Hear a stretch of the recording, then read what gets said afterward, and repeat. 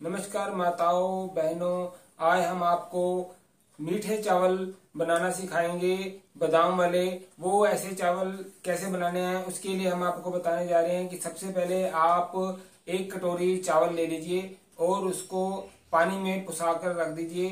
लगभग दो घंटे आपने उन चावलों को भिगो कर रखना है। उसके बाद वहाँ से निकाल करके कढ़ाई में थोड़ा एक चम्मच घी डालना है और आपने उसको चावलों को डाल करके हल्का हल्का जब तक रेड ब्राउन ना हो जाए, तब तक उसको रेड ब्राउन करना है। और उसके बाद आपने क्या करना है कि जो गुड़ आपने उसमें चीनी नहीं डालनी, गुड़ डालना है। गुड़ बहुत ही सेहत के लिए पौष्टिक होता है और चीनी नुकसानदायक होती है।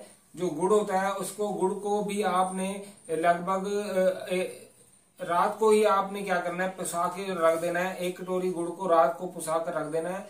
और सुबह तक वो मेल्ट हो जाएगा और उसका जो है चाशनी है जो बन जाएगी। आपने क्या करना है? सबसे पहले उसको जैसे आपने भून लिया, भूनने के बाद आपने क्या करना है? उसमें दो गुना पानी डाल देना है।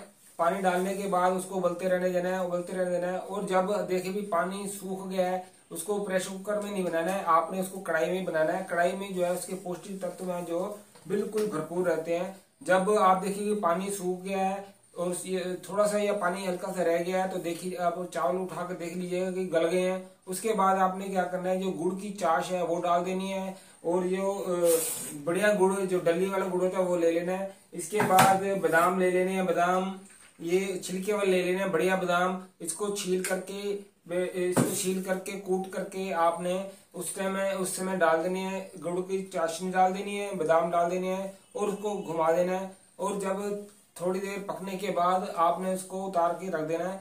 और जब ठंडा थोड़ा सा ठंडा हो जाए, तब, तभी आपने उसको आगे परोसना है। तो आपके बादाम गुड़ वाले बहुत बढ़िया चावल तैयार है, पौष्टिक चावल तैयार है, जो खाने में बहुत ही लजीज और बढ़िया बनेंगे। तो ऐसे और ही वीडियो के लिए आप हमारे चैनल में आते रहिए मुझे लाइक करते रहिए, शेयर करते रहिए। नए नए आइडियाज़ नए नए वैरायटी सीखने के लिए हमारे किचन में हम आपको बताते रहेंगे कौन कौन सी वेरायटी आपको बनानी है, कैसे बनानी है, उसके तरीके बताते रहेंगे।